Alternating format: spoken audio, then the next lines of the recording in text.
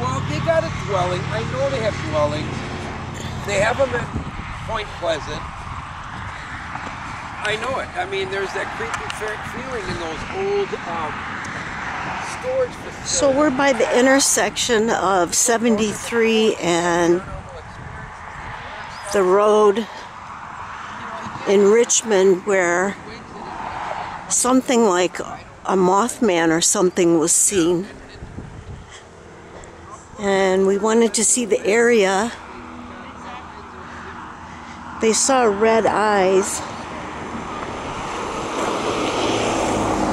They saw red eyes and it looked like it was floating. It was in phantoms and monsters. So there's the Richmond sign. And we're right at the intersection where they saw it, but there's a nature conservatory around here. So we are going to go farther in. But I wanted you to see the area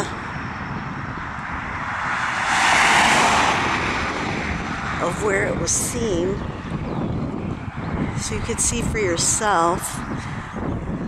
It's a perfect spot. Here's Michael, he's our bait. I gotta get a picture of the side. He's Mothman bait. Yeah. Oh, the Richmond sign? Ooh, don't fall. I thought the cop was gonna come and get you maybe. If he would have known it was you, he would have said, He, he chases us kind of people away. yeah, he does, doesn't he? Yeah. He comes to get people. Oh, here comes another car. He comes to get people like you. These Us people. truthers, we know a lot. I know what the word getting around oh, is. Would you call it a truther? Is that what you're called? Oh, open-minded. Open minded. That's what we are. We're open minded. This is the perfect area though. Look at, I mean, there's woods, there's marsh, there's cornfields. See the trees back in there? More trees there. There's more. We're going to go up ahead there. And then there's cornfields. This is near Lake Geneva. So we're getting closer and closer. It was seen. No, go ahead.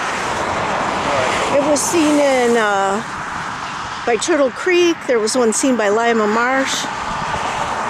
So this isn't unusual that it was seen here. But I'll post a link to the article too. If you disappear down there, we're not com- we're not gonna come and get you. We're just gonna leave you there. I could see a bird flying away with Michael in its claws. All right, don't get hit by a car. Okay, here's the area.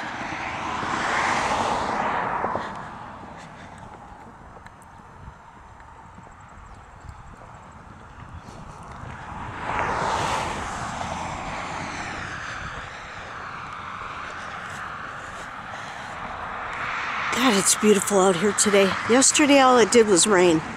But look, this is this is the perfect area for something like that.